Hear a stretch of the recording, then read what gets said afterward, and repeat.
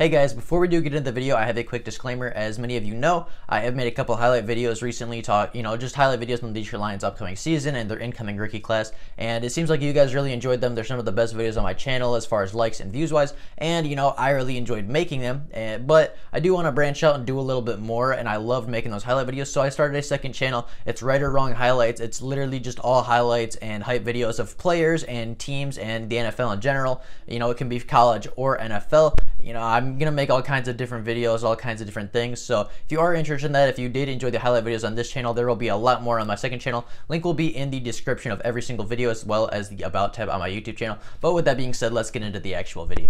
What's going on guys? Welcome back to another Detroit Lions video. Today we have another player that we're going to be talking about, but this guy is not a defensive lineman. He's not a linebacker. He's not even on the defensive side of the ball. This guy's actually a wide receiver, and he's not even a free agent. He is a current member of the Tennessee Titans, and that guy is, of course, Corey Davis. Now, I wanted to go over and talk about should the Detroit Lions trade for Corey Davis because around the draft there was a couple speculations and recently there's been a couple speculations, you know, stories that you know maybe the Detroit Lions might want to trade for Corey Davis and add him to this receiving corps. And you know, I'm just you know I saw that and I thought you know my guy Luke G, his field review, kind of mentioned it the other day about maybe the Detroit Lions trading for a guy like Corey Davis, and that could be really really interesting. And I'm gonna go over kind of what he did in college, what he's done in the NFL, and why the Detroit Lions and Tennessee Titans might mutually want to make this trade happen, and whether it would be a good or bad thing for the Detroit Lions. So, with that being said, let's get into the video. But if you are new to the channel and are enjoying the content, consider liking the videos and subscribing to the channel. It takes two seconds out of it to make mine, and I would be very, very appreciative to everybody that chooses to do so. But with that being said, let's get into talking about whether or not the Detroit Lions should trade for wide receiver Corey Davis.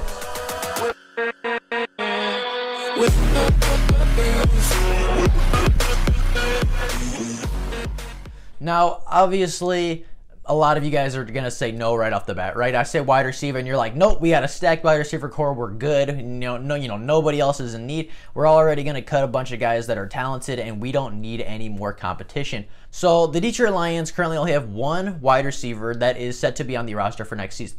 Now, obviously, we can resign players. We can, you know, bring in new guys if we need to. But at this moment, right now, the only wide receiver that is under contract for the 2021 season is Quintez Cephus, the current rookie right now. Kenny Golladay's not, Marvin Jones isn't, Amendola isn't, Hall isn't. You know, none of these guys are under contract, and we could resign them, and most likely will resign some of them. But it couldn't hurt to bring in a guy that will be under contract in the 2021 season and a guy that is much younger. Marvin Jones is 30 and Amendola is 34. These guys are on the wrong side of 30 at this point, and you know why they're still producing now. Any any given year, any given week, they could drop off and just their stats could absolutely plummet. And I don't think it's a bad idea to bring some youth into this wide receiving corps. Corey Davis is a former first round pick as he was selected fifth overall by the Tennessee Titans in the 2017 NFL Draft. Now, Corey Davis absolutely dominated the college level, obviously being drafted the fifth overall pick. In his career at Western Michigan University, Corey Davis had 331 receptions for 5,278 receiving yards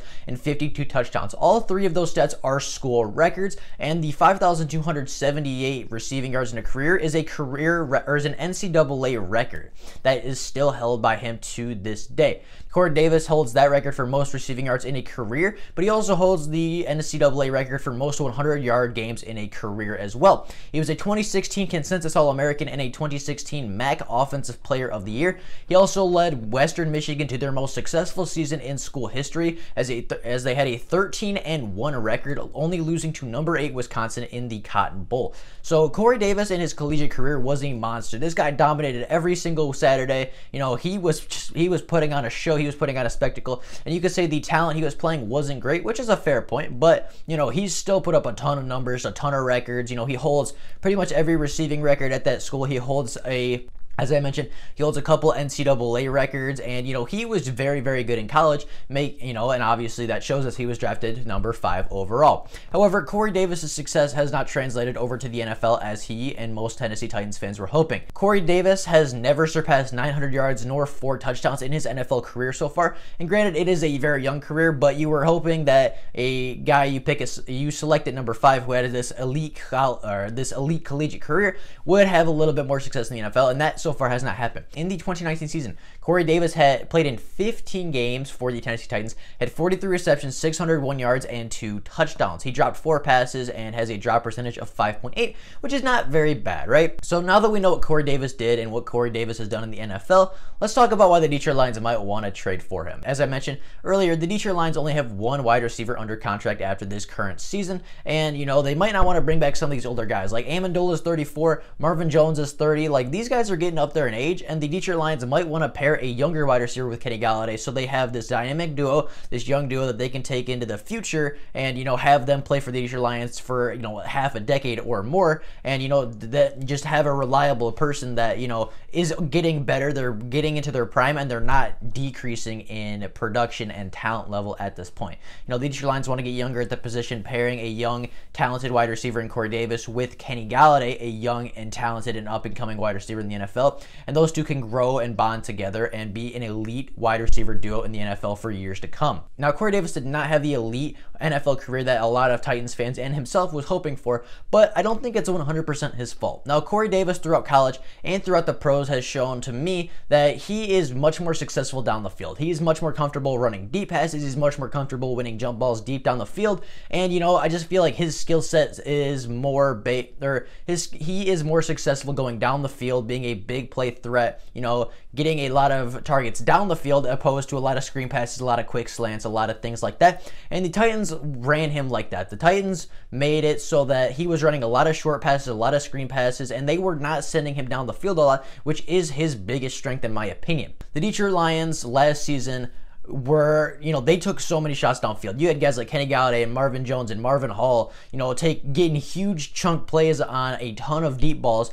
as Darrell Bevell's philosophy is to air it out, right? He loves running the ball, but when your quarterback's throwing it, your quarterback's going to air it out and Matthew Stafford has the arm and that is his preferred play style. Is Matthew Stafford loves airing out the ball. You know, he has the arm talent to make every single throw. And if we get a guy like Corey Davis, you better believe he's going deep more than he's going shallow because I mean, this guy is super talented. He has he has so much talent. He has the ideal body size. He has the idea, you know, the ideal skill set for a Detroit Lions wide receiver, and that is a big play, deep threat, you know, contested catch ball kind of guy. And Corey Davis did that a lot in college. Hasn't done that a lot in the NFL, which is why I think he struggles. And the Detroit Lions game plan for wide receivers is has them go have them go deep and go make plays for you as Matthew Stafford lays an absolute bullet in the air. He throws a missile and, you know, connects with the wide receivers 50, 60 yards downfield. And I think that play style equates much more to what Corey Davis likes to do and what Corey Davis is better at than what the Tennessee Titans are currently doing right now in Tennessee. I also think that that the lack of production comes from the Tennessee Titans being a run first team.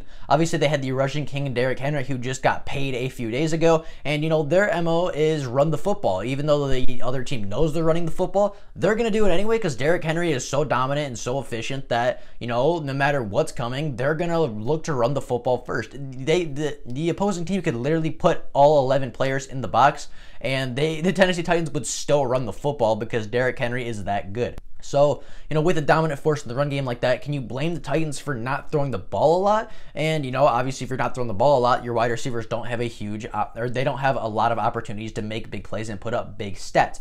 You know, that's kind of why the Detroit Lions would trade for him, right? His skill set fits better with what Detroit is doing than what the Tennessee Titans are doing. However, the Titans also have to agree to this trade, and the Titans might want to be getting rid of their former first round pick, you know, after only a couple years. First thing is they did not pick up his fifth year option yet. You know, they're still hesitant on that because he hasn't put up the numbers. He hasn't been that dominant force that he was in college. So the Titans are kind of hesitant and they might be looking to trade on to get more for, you know, to get a little bit, recuperate a little bit of that the capital that they put into Corey Davis. You know, they're not going to get a fifth overall pick back, but they're going to try to recuperate some of that capital and get more back versus just letting him walk as a free agent. The Tennessee Titans, as I said, are a run first team, so they don't need a lot of good wide receivers, and they found a star in the second round in AJ Brown. This guy had a huge rookie season last year, had a great rookie season, and showed that, you know, he's probably better than Corey Davis at this point. point, and the Tennessee Titans might be looking to ship on Corey Davis to get a pick back for, you know, a guy that they're most likely going to let walk in the 2022 season. And, you know, they could be looking to trade him away for not a whole lot. And, you know, so I just feel like looking at what he does well, looking at how he would fit in our system, looking at, you know, the fact that our wide receivers aren't going to be here next year, a lot of them.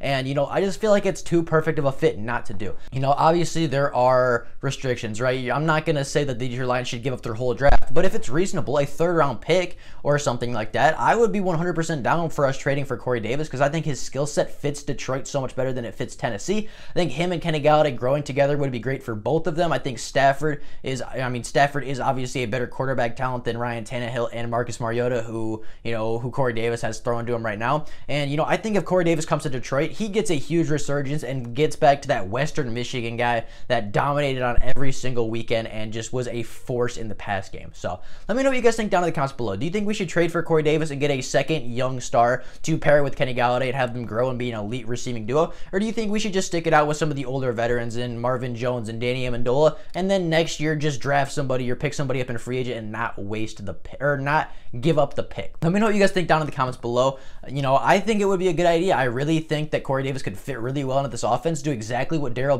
Bevell wants them to or wants him to do, do it at a very high level and be very efficient for the Detroit Lions. But obviously, that is my opinion. What do you guys think? Do you think we should trade for Corey Davis or do you think we should maybe wait and see if we can get him in free agency in a couple years? It's up to you guys. You know, obviously everybody's gonna have a different opinion, but let me know what you guys think down in the comments below. I have a feeling this one's gonna be a little controversial because, you know, I think it's a good idea. I have a feeling a lot of people aren't gonna like it. But with that being said, that is all I have for you guys today. If there is Lions news before tomorrow, I'll obviously make a video letting every single person know. But that is all I have for you guys today. I hope you guys enjoyed the video, and I will see all of you in the video tomorrow. Bye, guys.